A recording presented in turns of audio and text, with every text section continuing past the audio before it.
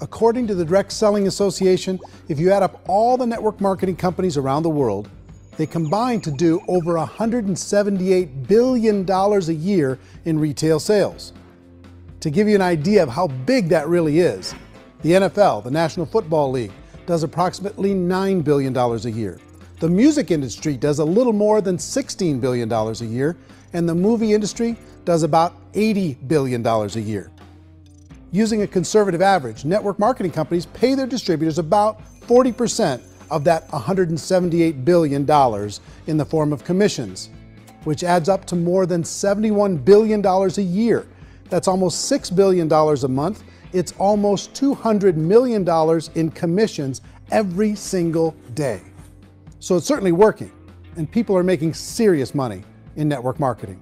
With the growth of the direct selling industry over the last 10, 15, 20 years, we've seen a broader understanding of the channel. We have seen more and more people getting involved in the business. So our penetration in the marketplace has increased and thus the understanding in the marketplace of who we are has increased. And we've seen non direct selling companies look at the direct selling model and say, something's going on there. People are making money, companies are being profitable, individuals are being motivated, product is being delivered to market. Maybe we should explore this. Some people think only the people at the top make money. Well, let's take a look at that as well.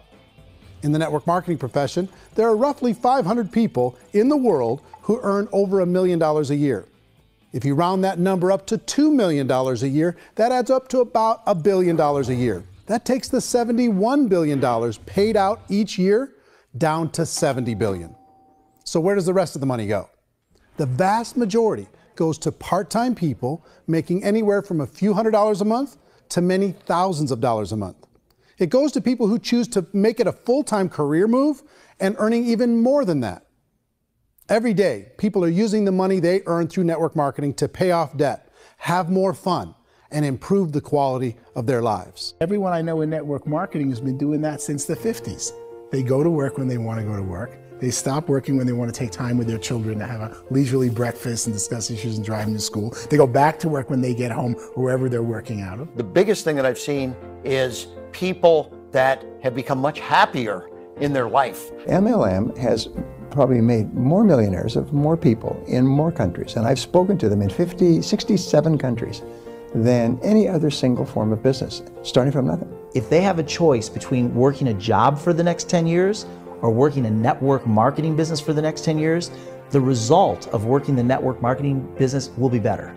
A lot of people within the industry go on and make this a career um, and do extremely, extremely well at it. Network marketing has been nothing but good for everyone I know that's been involved with it because they did it seriously and they played full out and they've been very successful. It's been a constant barrage of success stories and um, people showing off stuff that they got as a result of it. How many people are involved?